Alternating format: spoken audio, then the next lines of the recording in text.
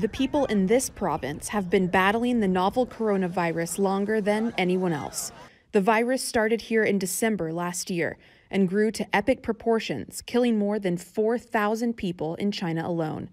After months of lockdown in Wuhan province, the number of cases began to drop. Then this week, there was a cluster of new infections.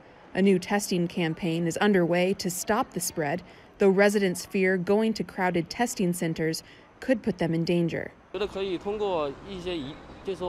think some measures should have been taken. For example, people should be separated when there are many of them. It's not very good to have too many people gathered in one place. Some people are wearing masks, some are not.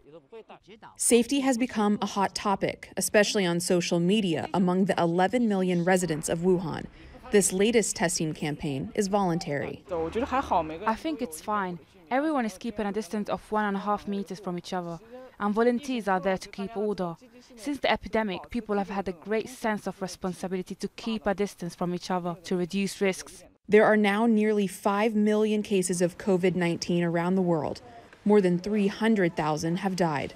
What started in China may be returning for a second wave. Leah Harding, Al Jazeera.